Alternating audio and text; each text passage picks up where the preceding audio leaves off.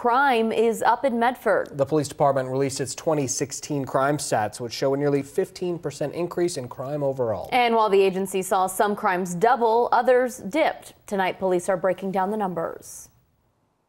We were very, very busy in 2016. Nearly 40,000 crimes were reported last year in Medford alone. We handled more cases uh, than we have in, in several years, if not the history of MPD. The annual report provides the agency with an overall look at crime within the city, and it's not going away. We live in a large enough community where there's going to be crime. We have criminals, we have a jail that's full of them. It's an issue that's not overlooked by local business owners like Jed Evers. Barricaded himself inside this little room here.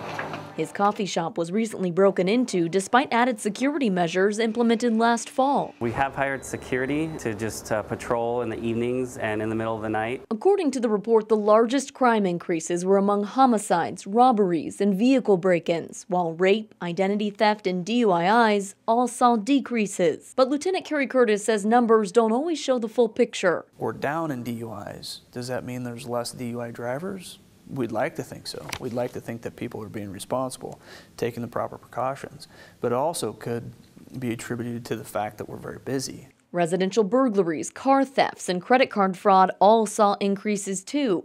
And while police say it's concerning, they say many of the cases are ending in arrests. We look at those clearance rates as um, really the investigative work that goes into solving the crimes that are happening in our community, and at 80 percent, we're um, above what I would believe to be national standards. MPD adds there are things you can do to avoid becoming a victim, including locking your home and car, removing valuables from plain sight, or installing home surveillance, which you can register with the department.